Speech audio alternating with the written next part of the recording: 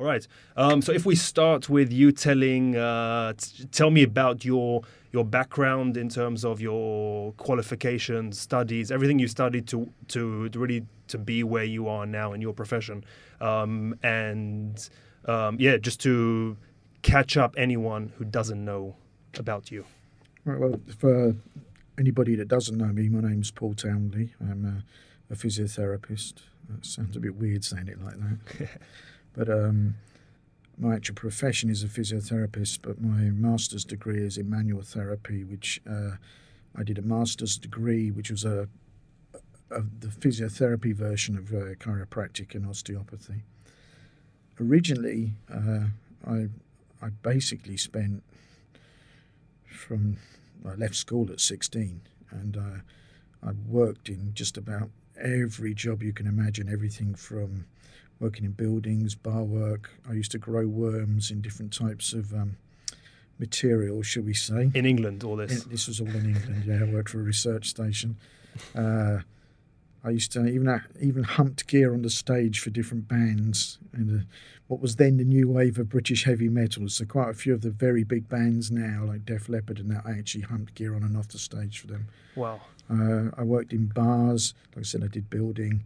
Um, was a security guard, all different types of cleaning, decorating. What parts of the UK? Uh, I was mainly around London. I did work up in the north a little bit, but mainly around London. So, I mean, basically, at the time, I didn't really know what I wanted to do with myself. And then I started traveling. Um, originally ended up, first of all, ended up in the States as a swimming instructor in a summer camp. And uh, I did that, and then I was traveling around. And uh, are you a swimmer, or you just found your way into that position? Do I look like a swimmer? uh, I was. Maybe you did, yeah. when I was when I was young and fit before I got married, I was uh, um, yeah, I used to swim a little bit, and I was not, not a bad teacher, I suppose. Um, I basically travelled around and uh, ended up in different places, and eventually I, I decided to uh, um, uh, uh learn to be a physiotherapist. And I, I've been working in all these different jobs, in factory jobs. I was on a kibbutz for a while, where I worked in the uh, in the orchards and in the in the factories, and even in the uh, the cow sheds and things like that, milking. And then after that, I lived there. I went back was to that England. part of the travelling? Yeah, yeah, yeah. I was just travelling basically from the age of 20 till about the age of 32, something like that. Wow. And uh, eventually I just thought, well, I can't keep doing this. Uh, it's all very well, but I don't want to spend the rest of my life working in factories or cow sheds or growing worms. So I was actually quite clinical about it, and I sat down and I got a.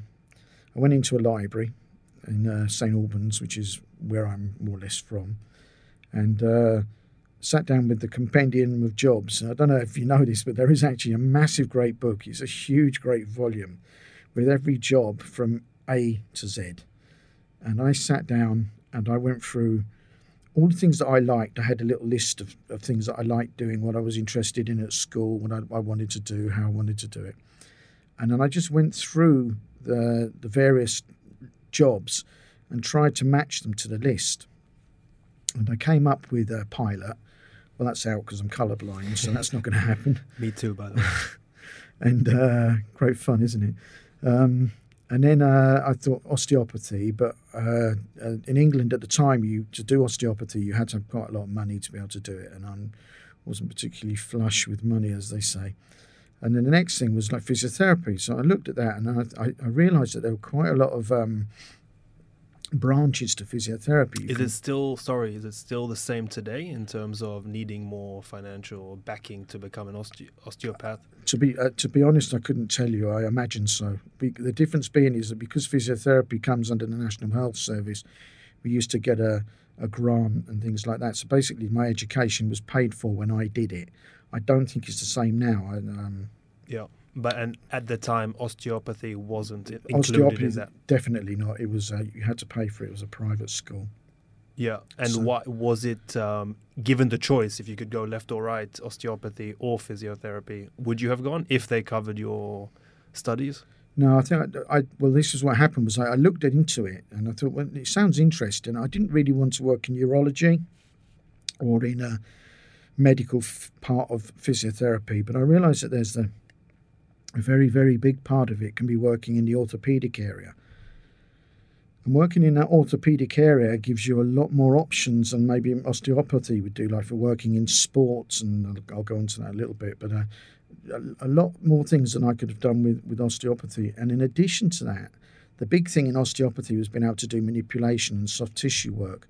But if you wanted to progress as such in uh, physiotherapy, you could also do your masters in that and go on and specialize in that area. It just meant you you did your physiotherapy degree, you did your um, your rotations as it was then, or probably called internship now, which is like a two year um, period, and quite a few nice stories about that. But uh, basically, you work in a hospital after you've done your physiotherapy degree. As part of your physiotherapy degree, you will do obviously the university part, yep. but you do various placements and um, you go to each area of, uh, of physiotherapy, whether it be uh, respiratory or neurology or working with uh, um, the older generation and all these different things. And so touching a bit of different areas. Yeah, of, yeah, touching more than a bit. You learn those specific areas. And one of the areas is obviously orthopedic, sort of um, spinal sports injury type area. I knew I wanted to go into that. When you finish your degree, you you will do a placement in each one of those areas, by the way, and sometimes twice, especially for the orthopedic or. And how long does each rotation uh, last? It depends. For? If, for example, a medical rotation could be uh, just a month, but uh, the, should we say, the uh, outpatients clinic or or whatever is that that's about a month, and then another one for a month in the advanced part.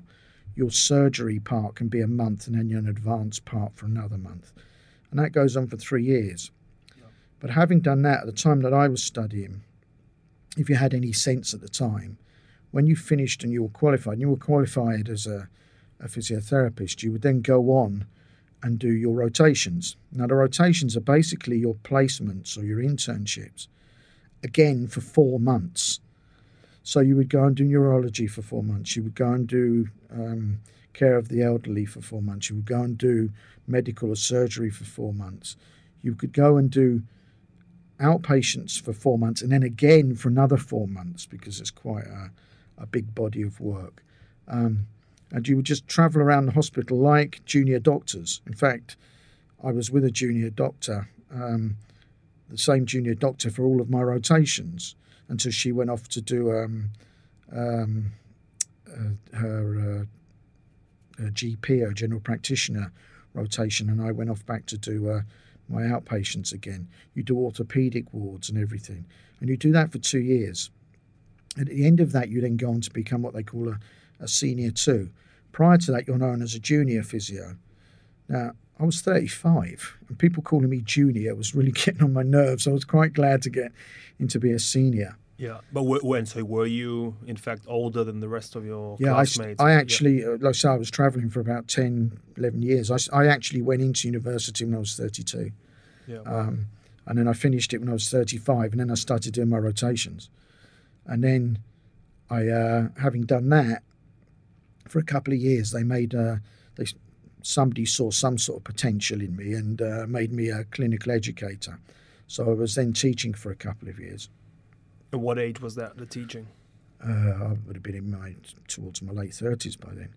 Uh, and the guy that was my clinical facilitator or my clinical instructor when I was doing my outpatients uh, um, rotations and my outpatients uh, uh, placements, I just all seemed to be in the same hospital all the time. Actually went to work for Crystal Palace Football Club. And he wanted, at the time, there was a big thing where football clubs, and this we're talking back now, back in the mid 90s. English football yeah, for our American yeah, listeners. Yeah. Sorry for that, soccer. um, you're going to have a hard job convincing these Englishmen that you can't you can't call it football, as you well know yourself. Um, so uh, what happened was in the 90s, a lot of the football clubs had physiotherapists that weren't, shall we say, chartered physiotherapists. They would do a course that the Football Association was running, which could be up to about six months, not like a three year course plus another two years or whatever. And there was a big problem because people didn't really want they wanted to get chartered physios because they're far more qualified, far better qualified.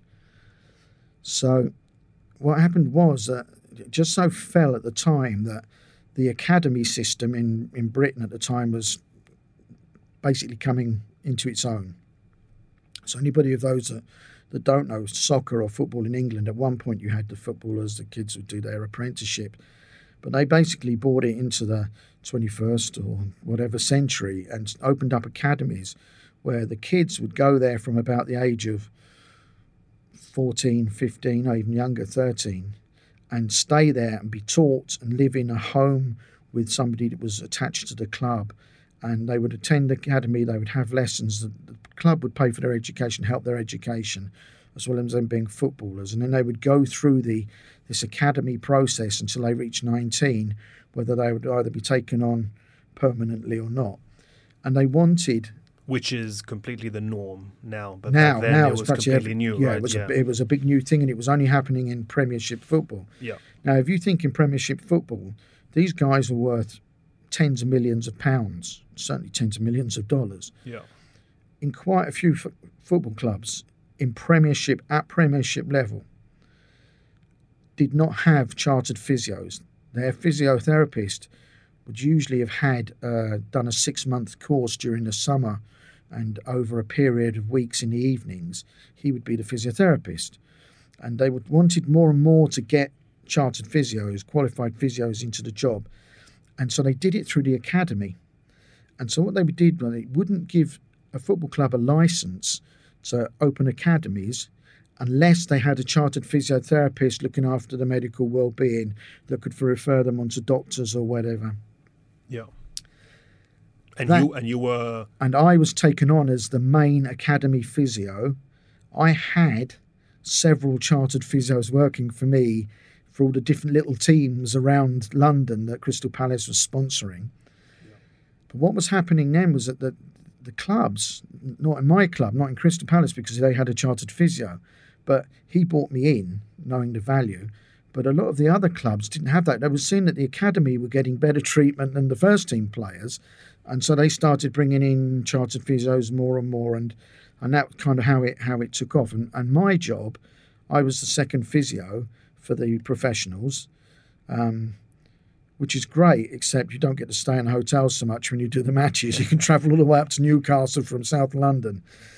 It's quite a few hours driving, and then you drove all the way back, and you had to be at work at six in the morning. So I just used to sleep in the car, um, because like where I lived, it was nearly a two-hour drive to get to my to the training ground. well. Um, And then there's also the you are at the end of the day treating players that are worth whatever, Millions, however millions, many yeah. millions. Yeah. because the reserve teams, I was I was the second physio, so I would travel with the reserve team. Now the reserve teams are all the guys that were coming back from injuries or just coming through, plus the main the academy players.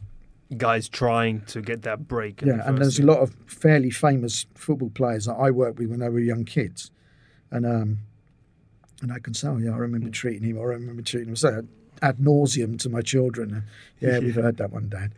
Um, so after I, I did that, and then I um, I start basically started travelling around again. Uh, one of the countries I worked in, I was working in the military, um, working with some of the special forces units as a consult- consultant. Um, And at this point, you broke away from I left Crystal, Crystal Palace. Palace. Yeah. It was a sad story. The, the problem at, at the time was Crystal Palace was basically going bankrupt at the time. This was in 98, 99. And uh, they were going into administration. I knew as the the second sort of physio that uh, I was going to be given kicked out because the fir- what they needed was to keep the academy open. They needed a chartered physio, so the first fit team physio could take that place, and he just needed an assistant, and she was also chartered, but she was actually my assistant, and I was the one in the middle, and uh, so they would so that saved a little bit of money. And at the time, they were kicking everybody out. A lot of people lost their jobs at that time, so I knew it was uh, it was time to go. And uh, to be honest with you. Football, as much fun as it was, signing the autographs, travelling, sometimes staying in hotels, going on tours, and that's great. But um, it was starting to get very mundane, and I wanted to do a little bit more. I wasn't teaching, which I like, and I liked when I was working in the health service. So I left and I basically started traveling around again. And uh, I ended up in various countries again and I worked uh, as a physiotherapist and for uh, health organisations and also for the military as a consultant, which I quite enjoyed. I'm sure, and I'll ask you about that. But going back to the football, the sports side, mm-hmm. um, did you want to think about maybe finding a position at a another team, another football team, another sports team? I thought about it. Uh, I was getting itchy feet. Uh, also, my wife wanted to go. At the time, she wanted to sort of broaden horizons. So my yeah. wife's Israeli, so she wanted to come back to Israel. Uh, I didn't have a problem with that. So at the time, I thought, well, you know, I'd, I'd, I'd spent the last three months of the season not getting paid and then getting paid a bit and not getting paid and then getting paid a bit. And the same situation Wayne Rooney was in yeah, last season. Yeah, but he probably had a few more. But for me, for me, it was a matter of being able to live and put food on the table. And I don't think he was ever in that problem once he got he got big. I watched a lot of people that I respected get kicked out of jobs having been worked in, working in Crystal Palace for 20, 30 years. And I knew I was going to go. So I just thought, well, okay, if I'm going to go, I'll go. I jumped before they pushed me, so I managed to get uh, uh, keep my wages for that month at least. Yeah. Um, and then my wife wanted to come back to, to Israel, so uh, we uh, we came back. Funnily enough, uh, there were a couple of Israeli football players at Crystal Palace, and uh, I actually learned a little bit of Hebrew from one of them, and they tried to get me jobs as soon as I was talking to the managers in the football club, it was bringing up all the old bad memories from Crystal Palace. So I thought, no, I don't need this anymore. I'd rather do something else. I want to get back into teaching. So I went to work for a health organisation. Um, and gradually, as they got used to me and my Hebrew improved, I started teaching again. And at the same time, I went to work and do different things in the army and different militaries as a consultant. Yeah. Are um, you still in touch with the world of sports? Do you treat any athletes specifically? Yeah, I still nowadays? actually actually see one or two of the, the, two players. I see them occasionally around here. As far as sports injury treatment, yeah, I do it privately or uh, do quite a lot of uh, sports injury treatments, and I work quite a lot with sports. Uh, uh players and uh, sports athletes. Yeah. While I was in Britain, before I went to Crystal Palace, I was actually running a sports injury clinic. So I was uh, it just so happened that a few of fairly high class athletes used to come there. Yeah. I don't know if you've ever heard of it, but there's an actually a Deca Ironman. I now, haven't. So there's you have the Ironman with its sort of what is three mile swim, hundred kilometer cycle, and marathon that they do. Yeah. Well, times that by ten. They get a week. They start doing it, and they basically swim thirty miles they run 260 miles and they cycle a thousand miles or a thousand kilometers or whatever it is. The world champion came to my sports injury clinic just before I went to Crystal Palace, funny enough. And uh, tell us about his body. He was shorter than I am, which is saying something. he was very short, but he was shaped like a big V. His shoulders were enormous and his lats were huge. Um, and he was a postman.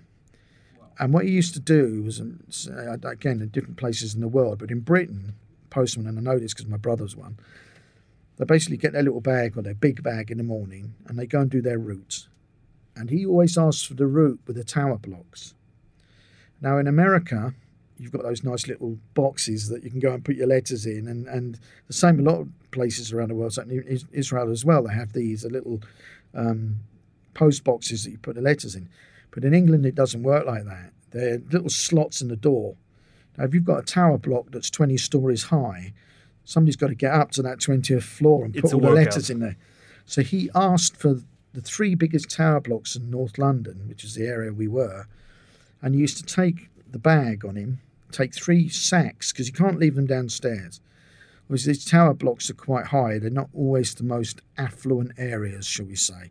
So if they leave their their bag downstairs, it's not going to be there when they get back. So he used to have to carry it, and he and he asked for three tower blocks. And he used to put the bags, all three bags on him, and then run up and down the stairs to, to get his work out, posting all the letters. And he came in with a bad back. And like a lot of athletes, it's quite hard. They're very type A personalities. It's very difficult for them to accept that they're mortal and that they are going to get injured and things like that. And excuse me. So they made some, made him a. Uh, he did these post things and he had a bad back and he basically arrived and I treated him. And I did a lot of, te- by that point, I'd done a lot of courses. I was working very much in dry needling, uh, a lot of soft, soft, tissue and trigger point work, which is a lot of the things that I kind of teach now. And uh, so I started working on his back and we needled him, released all his back, and he was he was bent double when he was walking in, but he actually came back. He was walking. He was great. So then we had to rehab him back to doing it uh, doing his, so he could do this Deca Ironman a, a couple of months later. So the first thing I said was, I want you to get on your bike and I want you to just cycle a couple of miles and see how you feel. I want to take it easy. And I remember him turning up on the Monday. He said, I cycled down to Bristol. Now, that's from North London to Bristol is about a three hour drive, two and a half hour drive in the car. So he cycled to Bristol. He said, but it's okay. I had to rest. I slept there overnight and then cycled back. So I thought, well, he's probably going to be okay. So his next training thing was to do this run around a, a, um, a running track. Now, they do it for 24 hours non stop. But what they do is they have to run in one direction, clockwise, say, but it messes up their inner ear. So they have to change after an hour and run in the opposite direction. direction and it's 24 hours non-stop so that was his next goal and your goal is to complete as many laps as possible in yeah yeah hours, and he was yeah. just lapping everybody and he, he won it by about 10 laps he was the um, so I think you're ready to go back to the Deca Ironman, and he was the world champion. So I think we did something right. He got the world, became the world champion of the Deca Ironman or whatever it was at the time. Incredible. And Incredible. Then, I, then I, just after that, I went to work at Crystal Palace. Yeah. So when you were working at that at the sports clinic, uh, you must have been exposed to. I'm assuming that's an extreme example, but yeah. so many different athletes from but, so many different. Yeah, realms. but the, the majority of people were coming in was the everyday person that had twisted their ankle or pulled a muscle or hurt their back or, or done whatever they'd done. Yeah, is there so, any injury that you, uh, I know it's a weird question, but enjoy to treat when you see it? It, it, it almost, almost excites you. You know, I, um, I've, been, I've been injured, I've had uh, surgeries. Um, there's certain doctors, when you walk in with a specific uh, injury, it almost uh, excites them to tackle one of these again. Um, well, the thing with, with a lot of doctors is, especially orthopedic doctors, they will tend to specialise in a particular area. So it's nice if they get that. Um, I suppose I, it's weird. It's a good question actually. I, I, I liked treating backs, but the problem with the backs is that um, they can be a lot of times very chronic, and the uh, um, the approach to that has differed more. I used to like doing manipulations and things like that, and the soft tissue work and the trigger point work and the dry needling work. But uh, I also nice, used to quite like lower lower limb problems as well, um, either chronic lower limb or even sort of acute lower limb, like some of the ankle problems. Everyone has back issues, though. Yeah, that's the thing. It starts to get a little bit, you know. We're talking then. I was in maybe my first four or five years as a physio, so everything was new and exciting to me.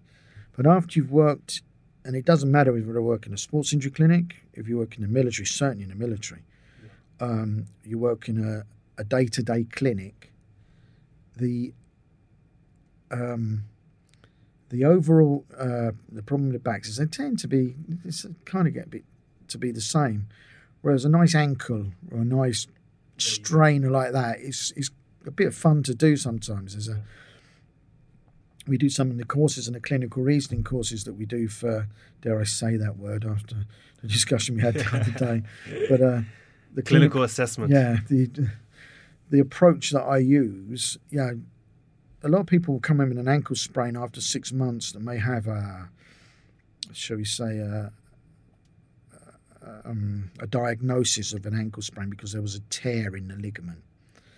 But six months down the line, that tear is probably not the thing that's causing the pain. It could be something neurodynamic or soft tissue work. You know, the, ten, the ligament itself is not going to be the, the cause of the pain. So it can be something physical, or it could even be sort of a psychosocial aspect, which we can look into. I'm sort of more interested, became more interested in treating lower limb and upper limb problems. At that point, I moved into football, so I was treating a lot of lower limb problems. Yeah. As you know yourself, that's where it's going to happen, Yeah. with uh, quite a lot of backs. Um, as I moved, I started working in a health service again. A lot of backs, a lot more on backs. Uh, but then I started working in the military again. A lot of lower limb problems, a lot of ankle sprains, a lot of um, an- uh, anterior knee pain or knee pain from the, the patella, uh, some hips, and again backs. The occasional, quite a fair few dislocated shoulders because of the weight that they're carrying and Yeah. falling. Um, so, I, I, but I was more sort of lower limb orientated. I quite enjoyed. Yeah, and obviously when you're treating lower limbs in a football team like Crystal Palace, it's not only you're treating those specific cases, but every injury, every second, every day a player's not training, it's costing money. yeah. Um, I think that was one of the that was one of the things that kind of got um, helped me decide not to stay in football. When I think about it, it was I didn't like the kind of the politics of it. I wanted to treat people. I found that at the beginning it was great. I was treating and I was doing their rehab and everything, but as time went by, what what would happen is I would treat them, but as soon as I could get them back to almost just walking, they would go to the fitness trainer, and the fitness trainer would kind of do the, the rehabilitation, which is kind of what I was meant to be doing, but it didn't work out that way. But I still had to go down and report to the managers why this player wasn't playing or whatever, and I didn't really have any control over it. It was it was difficult. I didn't like the politics, and I was just I, I had a few years there, were a few good years. I but do enjoyed you, it. do you think it's because at least then it was a new thing, having chartered physiotherapists? No, no, that was how people always worked. It was just that, uh, Mm. probably probably to the managers it was more annoying because I had somebody who could actually say, well, no, this isn't the way you should do it. We should do it this way and that way. And they need, like you say, you, you've got million dollar or million pound players, Yeah, and the manager wants good news. and they want and they don't want them sitting on the bench. The other thing is, ninety percent, ninety nine percent of managers were football players. Now they know that it's not always valid or true what that player's saying. We knew that the player was just didn't fancy training because it was too cold and he'd forgotten his gloves or something. And that happened a lot. But we couldn't take the chance because if something happened, God forbid, then we would have been responsible for letting him go out. So the player knew that, so he could play on us, and he didn't even have to go and do the dirty work of telling his manager.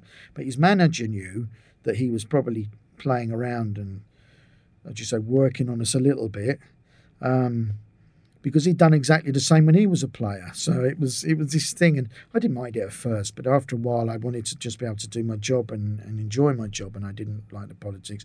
Plus, we had this problem with the not getting paid as well, so it was a time for me to move on. Yeah. Um, But having that pressure of um, needing to heal a player within a couple of days, within a week, within the time frame for the next Premier League match or the next cup game, um, how how was that? How's that dynamics? Needing to treat someone on a clock. the thing the thing with football or with any sport, I when I left university and I worked for the health service to start as a junior physiotherapist, pretty much within about two months, three months, I started working for a rugby team, and then I started working for a football team, all at a semi-professional level, and this was while I was working in the sports injury clinic and in the National Health Service.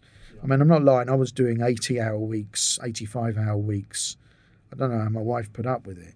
yeah. I would go to work in the, the morning, I'd sort of start working at seven thirty-eight, work till five. After that, I would either do a sports injury clinic or rugby team or football team, um, and I was doing that every day of the week.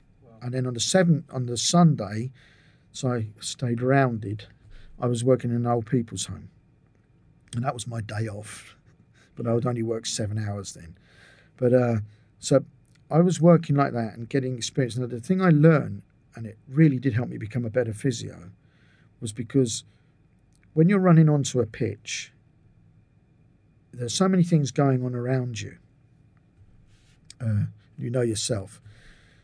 I mean, how many times did you go over and take the bottle out of the physio's bag when he's run onto the pitch? Yeah, it's like. Uh, and he's it's a- it's a searching for it to give give water to guys lying on the floor, and you're standing ten yards away drinking his water. Yeah, yeah. Um, it's almost uh, it's ironic, but you're almost happy for that uh, break in the game Yeah. for the physio to run on. You get a sip of water or maybe some Gatorade or yeah, something. something like that. Which I actually wanted to give to the the guy that's lying Yeah, on the floor. Um, but that running on and having to make those split decisions because I've got something going on, usually three players in my bag playing with my scissors or trying to get some tape out to do their fingers or something like that.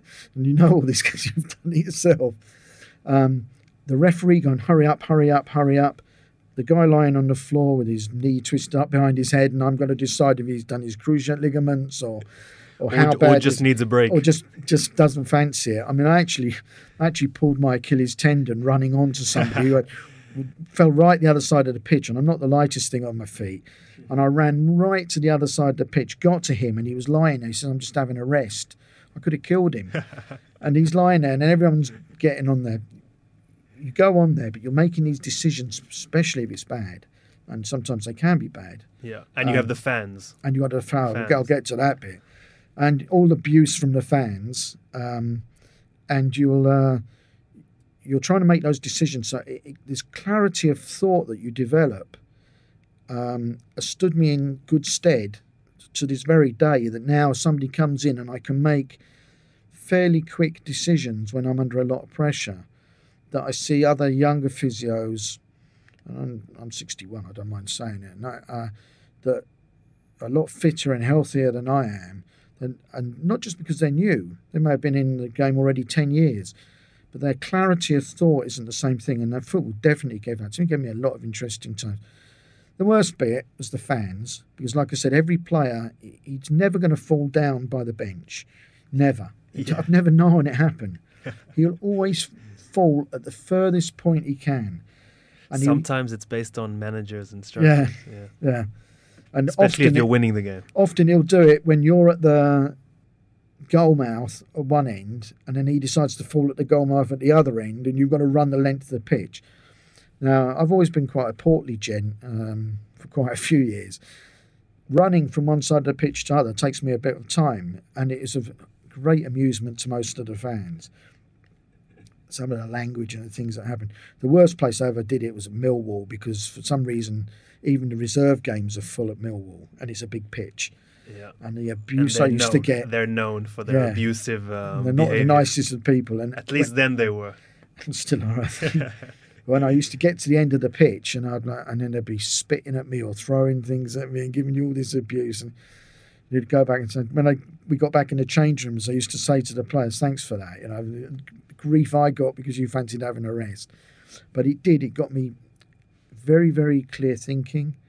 Um, helped me make diagnoses, good diagnosis properly that I could then work on. You're also working um, on daily injuries with very fit young individuals, right? Yeah, and I think that's probably the big thing is that they're often when I'm teaching, I've gone back into teaching now in a big way. Uh, I teach uh, for various universities around the world, um, and I teach obviously for for NAT. And one of the things I will say to people uh, when they'll say, "Oh, I'm going to go to a sports therapist," well, I'm sorry, but sports therapists are not more qualified than any other physiotherapist physiologically, and I'll often ask people this physiologically, what's the difference between a fit young man like yourself twisting his ankle and a very unfit old man like me twisting my ankle? Physiologically. Apart from you being younger and your ability to heal a bit quicker, and everyone say, yeah, yeah, but then they, they want to get better, they want to improve quickly. Yeah, but I didn't say psychologically, I said physiologically you're right. The big thing difference is is the motivation to get back to sport is much greater, a lot more pronounced. So it's nice to work with that. It's a double-edged sword. Often, players or high-level athletes, and anybody that's worked with high-level ath- athletes will know this. I said it earlier on, they suddenly come in contact with their mortality. They realise that, oh, yeah, they can get hurt. And because sport like soccer or any sport is a very dog eat dog world, one, if they're out of the game, it's detrimental to their ability to play in the future because they kind of get pushed to the side, as well as how much it can affect the team, which again comes back to that because if the team learns to play in a particular way uh, without this player, then he's not going to be. Uh, he's going to spend more time on the bench, and that can affect his chances for Yeah. um, So like, national yeah. playing and things like that. So on one, like, the one side, there are the players that obviously maybe feel like they have a secure place and can afford to take the um, the fake injury card or play that fake injury card or need a rest day or a game off. But probably most players would risk their bodies for that position will to find their it, spot. and Yeah. even the good ones, they they can't afford to do it for long because Yeah.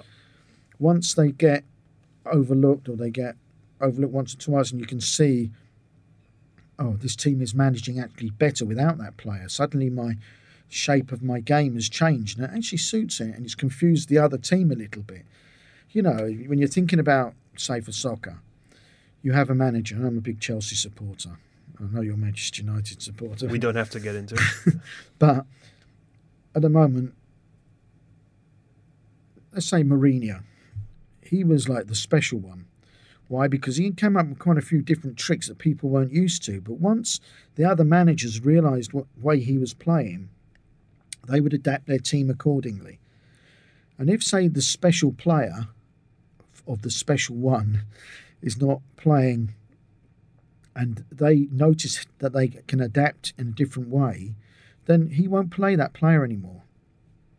And that player obviously gets depressed because suddenly he's uh, not getting his bonuses, he's not getting a chance to play, he's not enjoying it.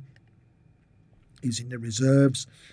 It affects how he's thinking. It affects a lot of a lot of things, and so it's quite hard for them to get back. So on the one side, they have the the physical ability, physiologically, that they can recover quickly, and they're stronger and better placed to recover quickly and respond to physiotherapy often. On the other side, they can get very, very down and upset and angry with what's going on, um, and that will affect you know how they're going to play in the future and, and possibly even their career. As I say, you're you're playing with those, those two sides of everything. Um, so as much as I enjoy it, and, and I mean, we've never really spoken about this. I mean, you're a foot, you were a football player and uh, a soccer player, at high level. It's have you ever thought of it like that? That that could possibly be what's happening. You, you probably felt, okay, I'm not playing. I'm fed up. I don't like not playing. But often it became the things that, oh, is it going to affect my career? Is it not going to affect my career? How are my teammates going to react to me? The manager's looking at me, and suddenly the manager's thinking, well, actually, I don't need him in that position. A hundred percent of the time where I've suffered an injury, I came back too soon. Yeah, because you, because either they want you back because you're in that that little window where he's still not changed his his way of managing, and you you want to get back, and you come back too soon, and you know that can actually really sort of uh, prevent you playing. That's when it becomes chronic. Yeah, right? and it becomes chronic, and it can prevent you playing at a high level. And everybody says, "Well, he's not been the same since he, he was injured." Yeah, this is for anybody. You hurt yourself. The healing time frame for the uh, for the body to heal is about six weeks.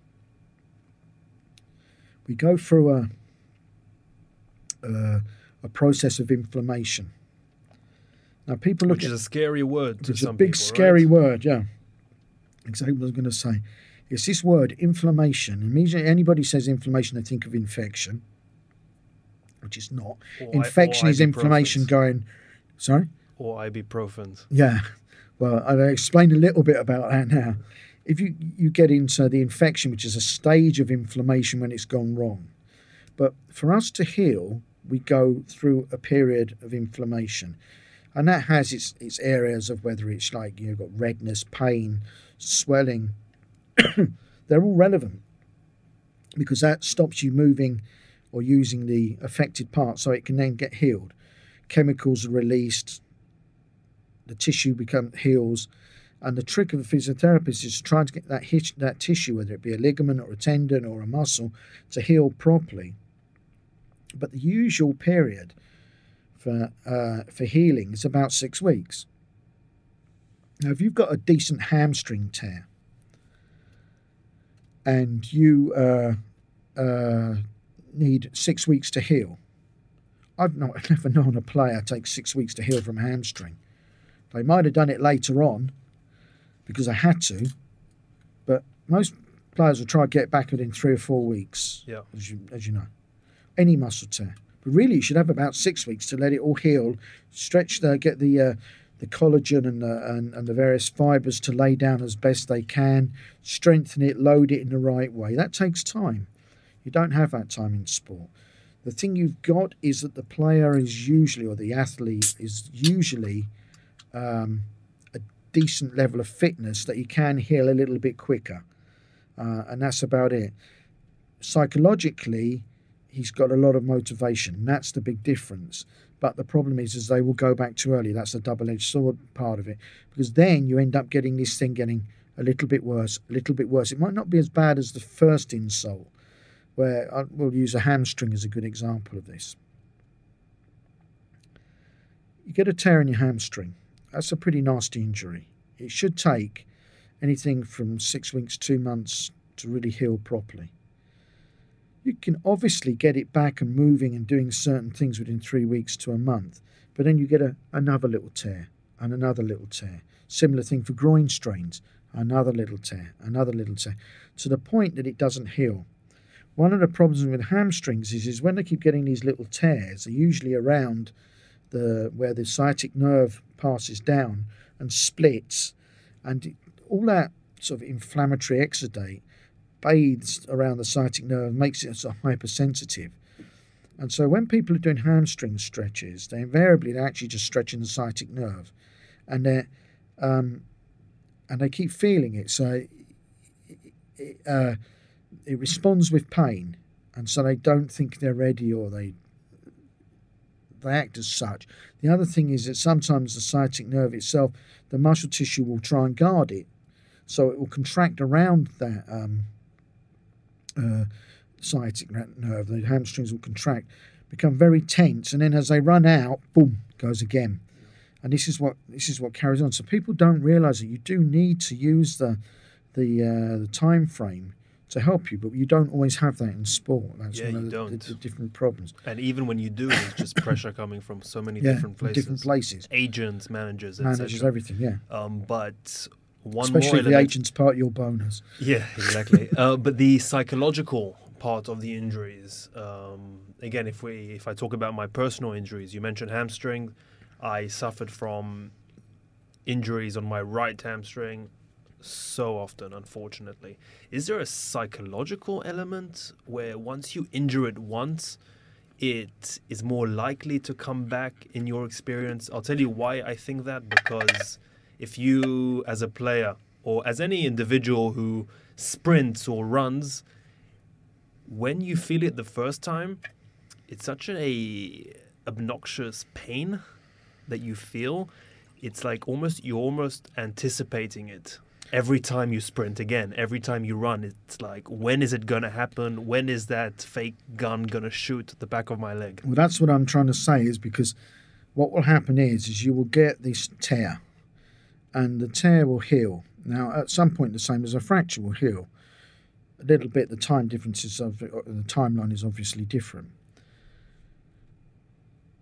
The muscle tissue will heal to a certain level, and that sensitivity around it will sort of go away.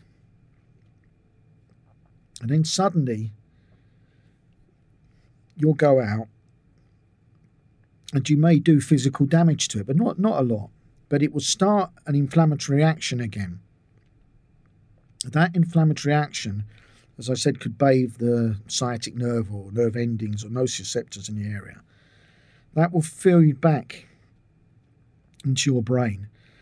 And your brain will recognize that and I think it was Lorimer Moseley. He describes this thing when he was uh, uh, in Australia, and he was uh, um, he was walking, and he, he trod on something, and he thought he'd been bitten by a snake, and he actually really badly reacted to it. And they took him to the hospital, and he'd actually stepped on a branch or something like that. And then he was out again several months later, and he, this time he got bitten by a snake, and he thought, "Oh, it's not, a, it's just a branch." And nearly died because he, uh, his brain had recognised that as from his experience as being a stick. It's a similar thing, like you said, psychologically and physiologically. You've had this insult, this tear. You've had three weeks of having the manager tell you, "Can you get back?" pushing you to come back, trying to get the, the fitness coaches, the physios, the family, the fans, all wanting you to come back, all impinging on how you're you're going to do it.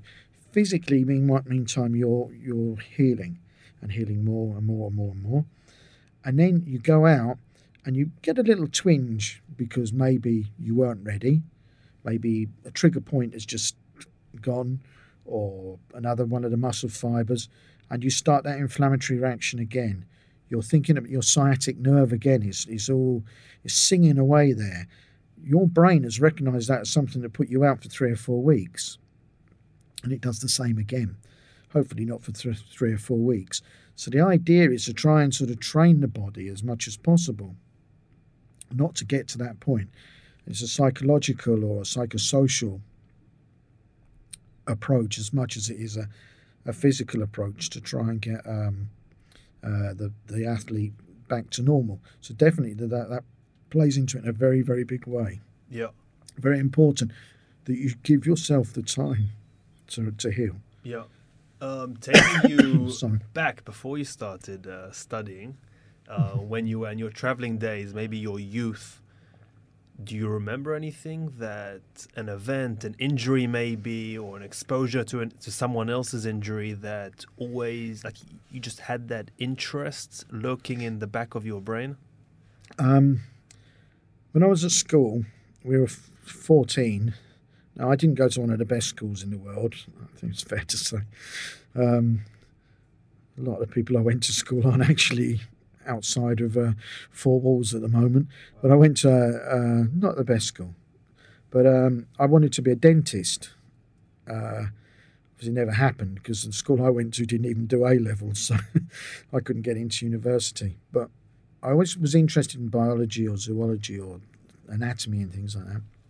So you had some anatomical yeah. Well, my mum, yeah. my mum, my mum was a dis- my mum was disabled, and um, she was uh, she was one of the first people in Britain to have a, a heart valve put in. She's probably about the third or fourth person in the, the country. So my childhood was spent mainly going into hospitals with my mum because she was always in hospital at least twice a year, three times a year, having electric shocks to get her heart beating properly or whatever. So I had that kind of uh, nursing or whatever, caring sort of background in there. I liked sport. I liked the sort of biology. And that brings me out to that book when I sat down with that book looking at what I wanted to do. Um, during my travels, I, well, I've said it in some of the courses, I'm actually, I don't know, I should, maybe I shouldn't be sitting here because I've got so many things that I broke. I mean, I broke my left ankle badly in a motorcycle accident. I completely ruptured my Achilles while I was at university. I've broken my tibia three times. I've got um, both knees have got tears in the meniscus, which I never bothered operating on because I can't be bothered with. I've torn my cruciate ligament playing around in a nightclub with somebody on my shoulders when I slipped on the floor.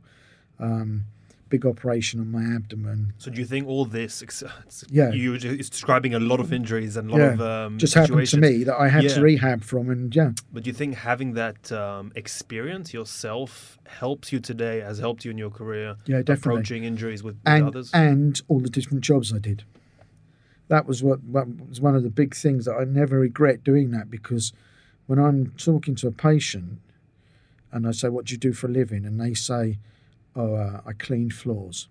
Okay, I cleaned a lot of floors. I know how the machine works and everything, how it spins around and you're moving it and everything.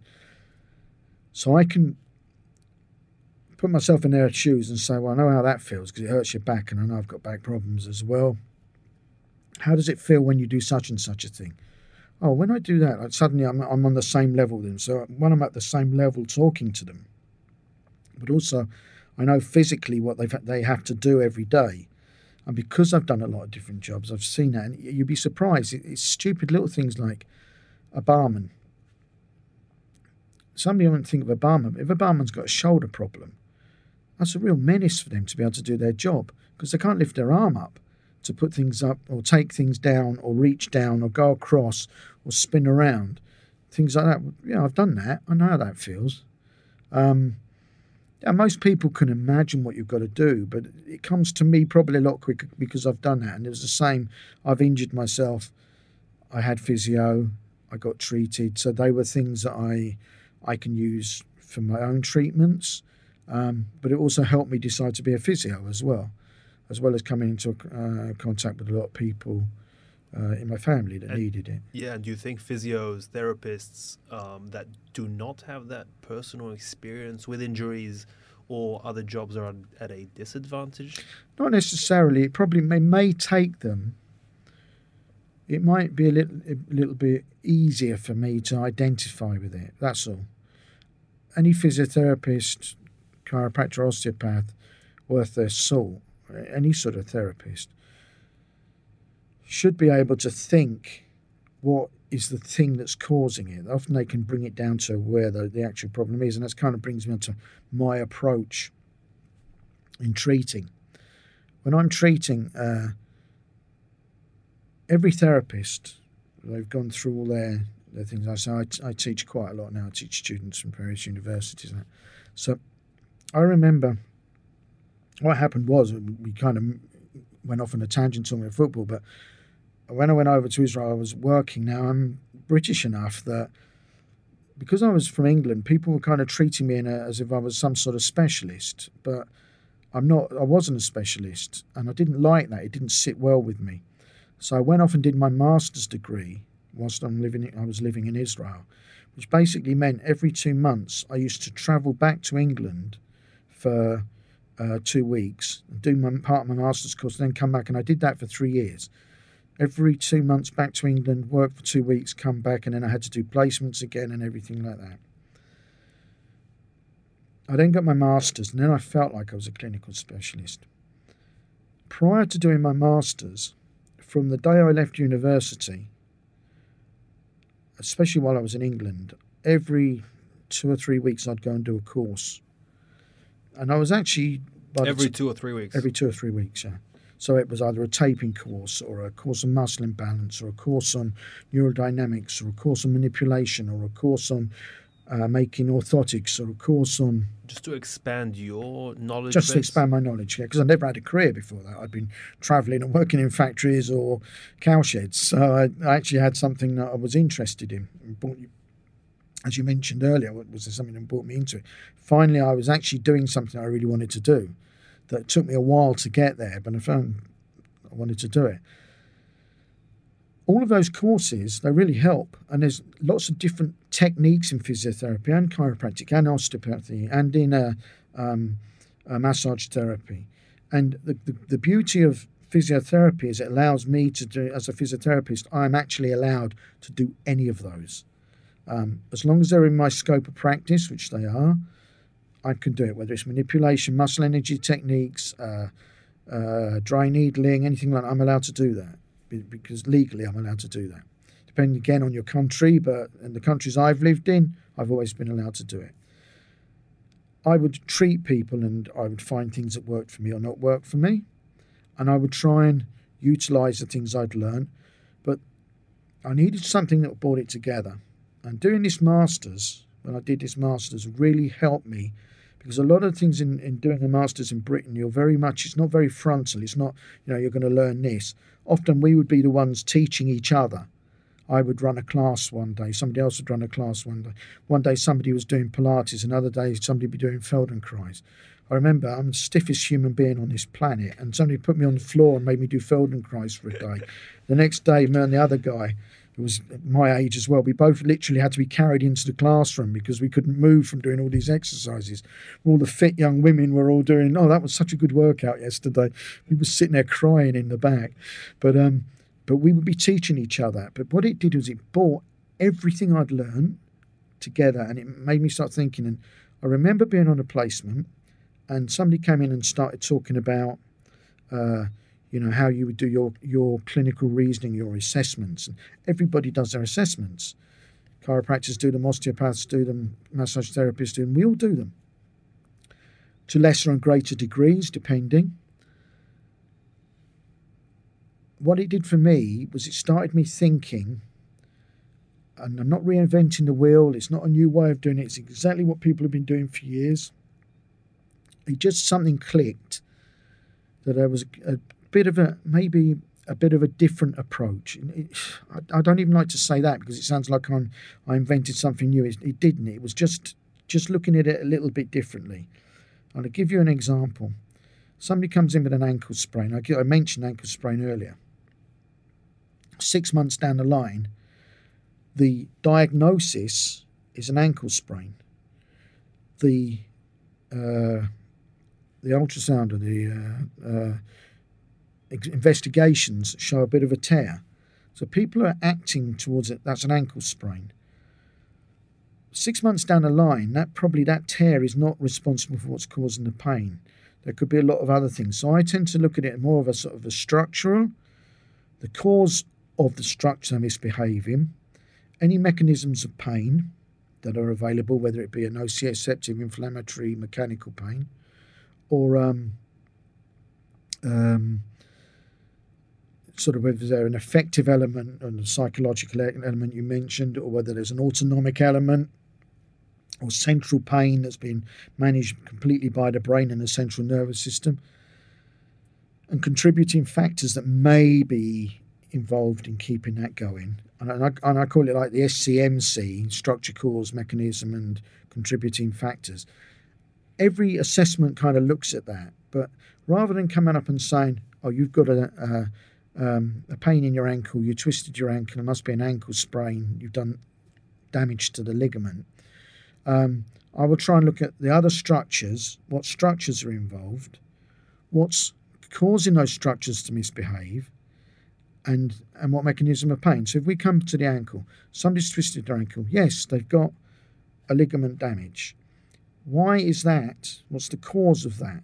Is it the actual ligament so damaged that the ankle is flopping around and causing uh, another structure such as bone on bone to sort of rub?